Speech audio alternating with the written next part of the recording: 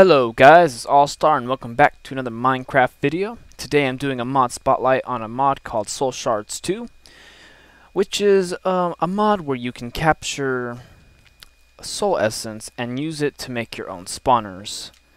And uh, for those who know what Soul Shards 1 is, um, it was a very fun mod where you could actually get tiered spawners and stuff, and the higher tier it was, the more they would spawn and stuff, and it was really cool. I really liked that mod. Uh, Soul Shard 2, Soul Shards 2, I should say that a little slower and not speak so fast. Um, I don't think it actually has tiered spawners. I've been messing around with this for, for a little bit, and uh, it's actually pretty simple now. Uh, and it makes me feel like this mod is still like an early release, so I don't think he's done. Uh, and there's a couple signs that show that it is an early release. So let's get started. So the first thing that you're going to need to do is you're going to need to find a lot of spawners. In order to get one soul cage filled with soul essence to actually spawn your own mobs, you're going to need at least four spawners to do that. And I'll, and I'll tell you why in a minute. So I'm going to place down these four. Now let's say we we found these naturally spawned in the world. Of course they're not going to be creepers, okay? So I'm going to switch to creative, or not creative, but um, I guess, adventure. I wonder if I can break these. Um, and I'm going to break these real quick. And you can. And you see we get this, this item right here. And it's called a crystallized soul essence. Now, like I said, you're going to need four of these to actually get started. So I'm going to grab the rest of these. And now we have four. Alright, cool. So what do we do with these things? Alright, so I'm going to switch uh, back to creative for a second. Um, what we can do with these is we can get ourselves a sword called a Shadow Blade. And the Shadow Blade is used to actually uh, store souls inside of these uh, soul essence. Now let me show you guys how to make this. So to make one of these, you're going to need two crystallized soul essence. So right there, you're going to need two spawners, okay? To make just this sword. And then you're going to need another soul essence to actually make uh, a soul shard.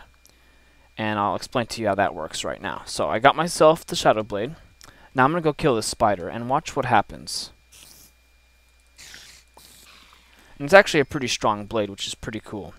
Uh, you can see that it used up one of my soul essences, and it created a soul shard with this with spider stored in it. Alright, so that's cool. Now you're, you're probably thinking, okay, what's the last soul shard used for, or the uh, crystallized soul essence? Well, that's used to make the uh, soul cage. So to make a soul cage, what we need to do is we need to get ourselves one crystallized soul essence. So we need another spawner, four iron ingots, and four obsidian. So you're going to need to get yourself some diamonds first before you can get into this mod. Alright, so let's go spawn some of these in. I already did. Okay, so all you need to do is place this down, use the soul shard, click on the block, and it will store it in there. Now, spiders should start spawning. Since it's daylight outside, they won't spawn. So let's switch it to night real quick and see if we can get ourselves some spawn. Some spawns. Uh, let's do midnight. Alright, and you can see now we're getting spiders. And I think the more I kill, the more they store. So be careful with uh, your your shadow blade because uh, because it will uh, store stuff in your soul essences if you have them in your inventory. Alright, so, um, another thing is when you break the, uh, the soul cage, it will actually uh, drop itself. And I actually have two with me. One of these have sheep and one of these have spiders. Now this is one thing I don't really like about it, is they're grouped together, which is kind of hard. You don't know which is which. So let's see which one's sheep.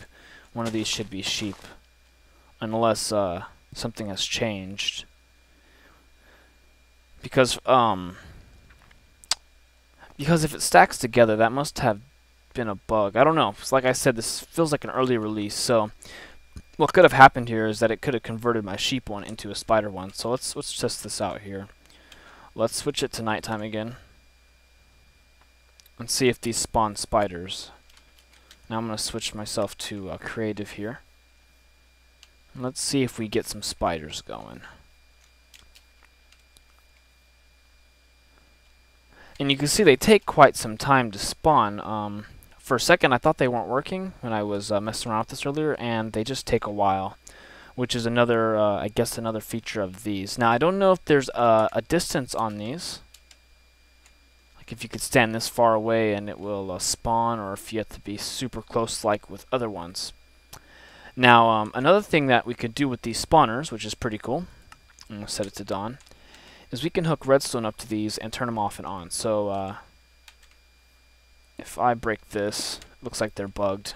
Um, we have another spider one here. I want to get myself, um, let's get ourselves a sheep. So I'm going to get myself a spawn egg real quick. Those would be located in miscellaneous.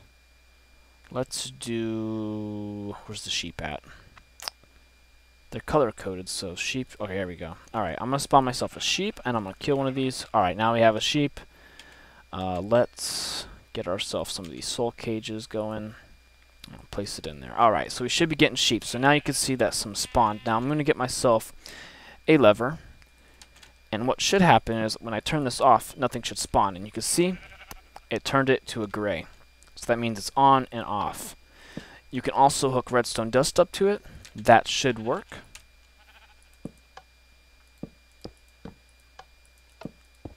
There you go. And I believe anything redstone, like maybe pressure plates too. We'll see. See, yeah. Anything that has a redstone uh, update next to it and you can see it turns it off and on. Now, I, I believe that when they stack together, it bugs them out, so uh, try not to do that if you are going to use this mod, because for some reason those spiders and sheep weren't spawning, so yeah. But like I said, this feels like an early release. Uh, there's even one more item that I don't know the use of. Uh, this is called the Soul Binding Shard. I've been trying to figure out what this does. I messed around with it, and I couldn't get it to do anything. So I'm guessing it's going to be a feature that's added later. Uh, and if it isn't, I will, of course, in the next video I make for this, because I hope that there's going to be updates. And if there is, I will make um, update videos for it. And if it if it does have a use, I will cover that in the next video. Uh, but if you guys enjoyed this video and you found and you found it useful, please leave a like, comment, and subscribe. And I'll see you guys in my next video. Peace out, bros.